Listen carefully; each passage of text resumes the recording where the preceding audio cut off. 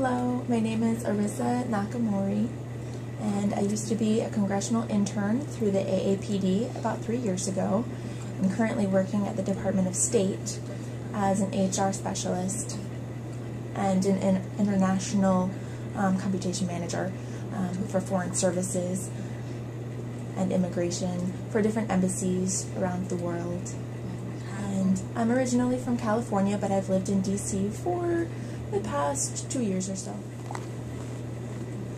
I believe the ADA has really impacted my life a great deal. My parents were Japanese immigrants and they had moved here to the US. I was born here in the United States. And uh, when they realized that I was deaf, I was just a few months old. And my parents thought it would be best for me to be sent back to Japan so that I could learn their native language and develop a good language foundation.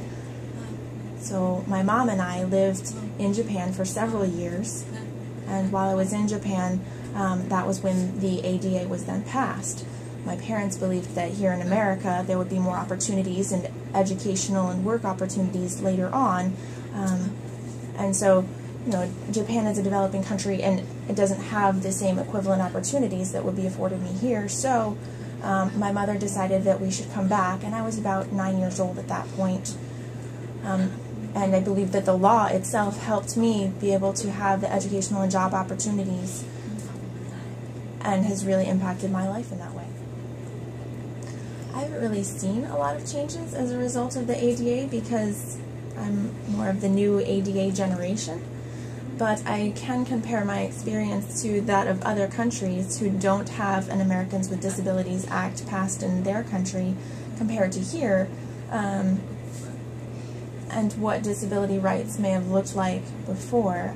You know, if they're still developing theirs, I can't imagine, you know, it being extremely different from how it was years ago before the ADA had passed here in this country.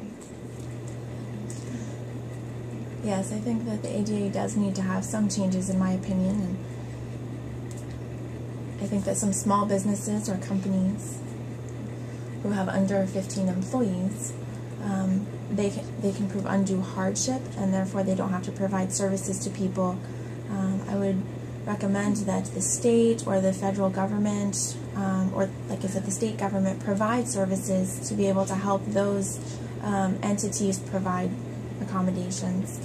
Um, and then I also have comments about the university education. I have a personal experience to share.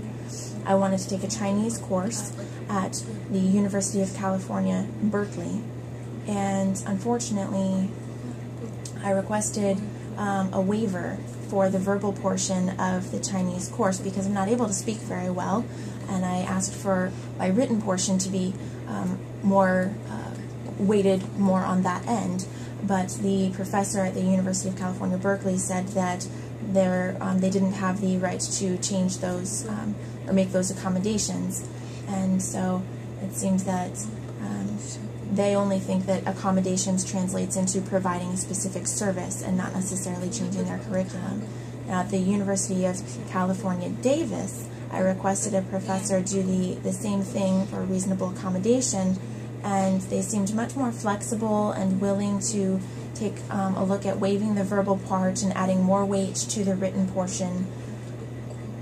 And there was an interpreting coordinator there who was um, very accommodating and trying to find an oral Chinese interpreter to provide services and have a note taker who was fluent in Chinese for that purpose.